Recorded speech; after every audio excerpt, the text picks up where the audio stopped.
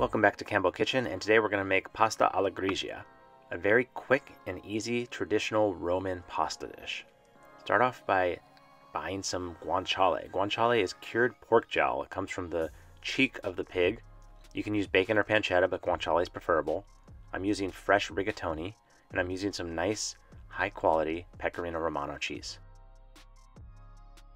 Now this dish has very few ingredients, so it's important that you use really high quality, the highest quality you can get.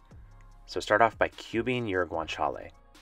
You can see the guanciale looks similar to bacon. It's very fatty, it has a very complex flavor, and it goes well in almost every pasta dish. It is extremely delicious. Definitely buy it if you can find it. If not, pancetta or bacon will work.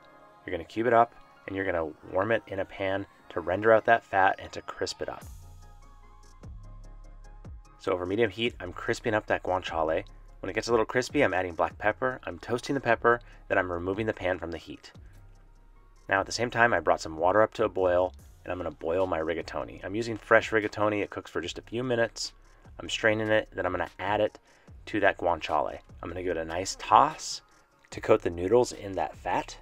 I'm to turn off the heat, add a little pecorino cheese, and add pasta water. In order to have a creamy sauce, you have to have the right ratio of fat, cheese, and pasta water. So just tinker around with the ratios. Generally speaking, you need to add more water than you think you need to add. So add water, stir, stir, stir, and it'll get nice and creamy just like this. Now it's time to plate the pasta up.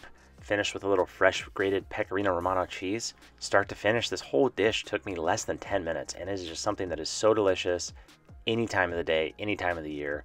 Hit that like button, hit that subscribe button, leave any comments if you have any questions below, and stay tuned for more videos coming soon. Thank you for watching.